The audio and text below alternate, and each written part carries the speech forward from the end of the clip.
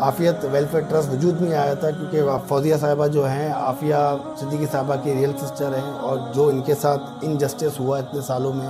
इतने अरसे से, उसकी वजह से ये वेलफेयर ट्रस्ट जो है वजूद में आया। इसके बाद जितने भी नीडी होते हैं लीगल हेल्प चाहिए होता है, उसको हमारे थ्रू हमारे प्लेटफॉर्म से उनको दिया जाता है, ताकि कोई ऐसा ना रह जाए जिससे इनजस्टिस हो। Thank you